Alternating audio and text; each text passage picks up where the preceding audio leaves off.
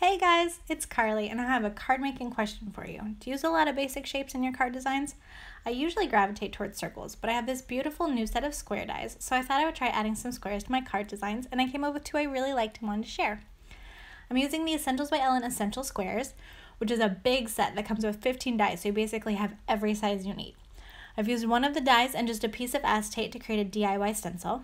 Then I've got a piece of 80 pound solar white cardstock. Then I'm going to tape to my nonstick craft sheet. I'm going to tape that DIY stencil over it and then do just a little bit of simple ink blending with Distress Oxide, Tumbled Glass, and Salty Ocean inks. When I first started card making, oh my gosh, I loved the look of ink blending, but I could just not make it work for myself. I finally learned from my amazing friend Julie Ebersole that it's kind of about the paper and ink combo. So while I love using solar white because it's bright white, it can be a little bit hard to do dye ink blending, but the Distress Oxides blend like butter. Now to give my ink blending the look of a little bit of texture, I'm going to add water spray.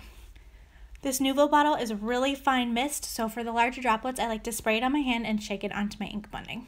After a few seconds, I just use a cleanish, because I found it on my desk, paper towel and mop up the excess water, and then I can just remove that stencil and wipe it off for my next project. Now I want to create a little scene in my square here, so the next thing I need is grass. I'm using the Essentials by Ellen landscape dies, and I'm just running it through my die cut machine with just a scrap of white cardstock. Then I'm going to add some color with that Distress Oxide Twisted Citron. After that, after I let the ink dry, I can just use my trimmer to cut it down into a little strip. And then one of the coolest things about this square set, besides that you get so many, is that they each cut a square and a square frame.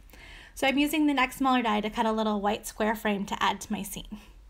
After I trim the grass to fit, adhere both the grass and the white frame, then I'm ready to finish my scene with a cute critter. Now another way I've enjoyed using these squares is to make square windows. So for this card, I drew a pencil line a quarter inch in on the top, the bottom, and the right side to use as a guide. I can put the 2 inch square die right against the lines, tack it down with some low tack tape, and run it through my die cut machine. Then I can move the die to the other corner against the other lines, tack it down again, and run it through my die cut machine. And now I have a cool card panel that has two fun square windows. Now the pencil lines are easy to erase, just don't forget to do that part.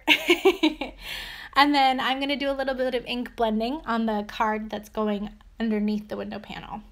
I'm using Distress Oxide again in Shaded Lilac and Tumbled Glass. And it's great to have the panel handy to kind of lay over and double check that you've got ink everywhere you need it to be. Now I'm adding water again for the same kind of textured look that I did before. And then I've got my little sentiment stamp loaded in my MISTI, but before I stamp it onto my die cut panel, I want to make sure it's in the right place.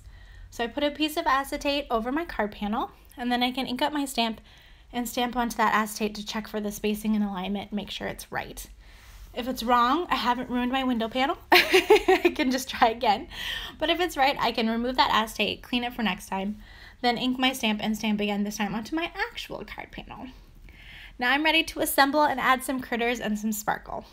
Now thanks so much for watching. You can find more information in the video description, including a link to my blog where I have more photos. And definitely leave me a comment because I love hearing from you and I would love if you subscribe to my channel if you haven't already. Happy crafting and have a great day.